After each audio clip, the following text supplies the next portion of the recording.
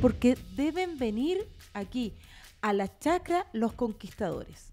Es una experiencia única para los peregrinos del vino que se llama. Que Ay, somos vengan a peregrinas del vino. Sí, claro. Oye, yo vi que en este lugar también habían como unas expresiones artísticas dentro de la Si nos dimos unas vueltas por ahí, Eh, sacamos unas fotos. lindo sí. para poder pasar. Necesito que nos expliques de qué trata la experiencia de la cata en la chacra. El Los conquistador. Nosotros hacemos un taller al que llamamos Patrimonio Vitivinícola y Degustación de Vinos. Entonces es una actividad que tiene dos partes. Entonces hoy día, además de tener, por ejemplo, cepa país, eh, tenemos cepa canela, tenemos la cepa coco de gallo, pero también tenemos en total como cooperativa nueve variedades que no existen en ningún banco genético mundial.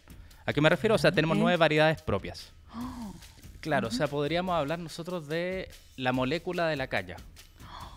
¿Ya? una Eh, para efectos de este podcast vamos a hablar del metanol. Salud. Salud. Chao. Oh, manjar. Sabía que iba a decir. Iquiqueñas, para turistas, curiosos y amantes de la cultura.